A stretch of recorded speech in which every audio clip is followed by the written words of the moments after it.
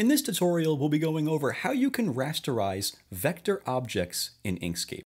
More importantly though, we'll be going over why you would want to do such a thing.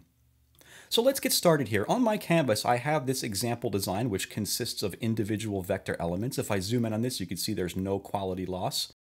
If I wanted to make a rasterized or a pixel-based copy of this design here, all I have to do is select it and go to Edit and select Make a Bitmap Copy. And when you do that, it creates a copy of your selection, only it's a pixel-based copy. So if I zoom in on this, you can see this is indeed a pixel-based image. Now let's have a look at an example of when this sort of thing would be useful. So on my screen here, I have this halftone pattern that we created in a previous tutorial, and this actually serves as a perfect example of when to use this sort of thing, because this design here consists of hundreds, maybe even thousands of tiny little circles. And because of that, the software has to process the information of each and every one of these elements, which can slow down the software and decrease performance. So this is where making a bitmap copy comes in handy because it allows you to create a pixel-based copy which will free up a lot of CPU usage and make the software run a lot better. So what I'm going to do is I'm going to open my layers menu. I'm going to come up here to layers and select layers and objects. And I'm going to look for, here we go, layer two. This is where all of the objects remain on this layer. I'm going to select the objects I want to make a copy of.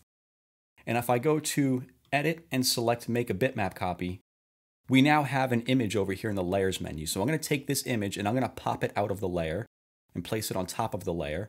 And if I scroll up, you can see it up there. And then I'm going to collapse the layer and I'm going to lock the layer and turn off the visibility of the layer. And now we have just this pixel-based image here.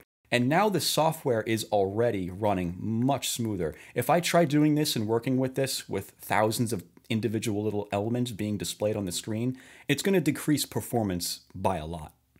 Now, one problem you may encounter when doing this sort of thing, if I zoom in here, you can see the resolution isn't too great. So if you want to make bitmap copies while preserving a higher resolution than what the default is, what I would recommend doing is going into Inkscape preferences.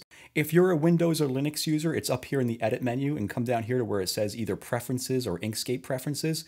If you're using Mac, just come over here to where it says Inkscape and select settings. And in the menu, what we're looking for is over here where it says imported images. I'm going to come down here to where it says resolution for create a bitmap copy. The default is 96. I'm going to change that to 300 and then close out of the menu. And now next time when you make a bitmap copy, it'll be a much higher resolution. So let me show you here as an example. Let me get rid of my other copy and let me make a new copy of my halftones here. I'm going to select all of my halftones. I'll go to edit, make a bitmap copy,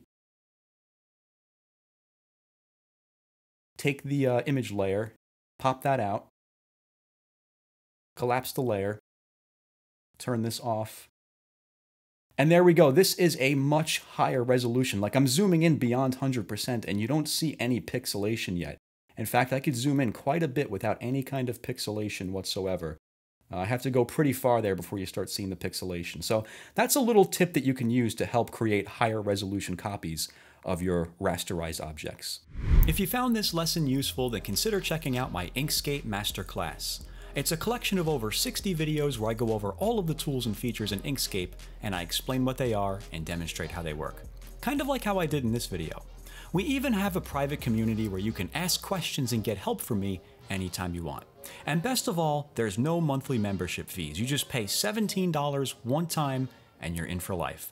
I'll have some information about that down below if you want to check that out. As always, thanks for watching.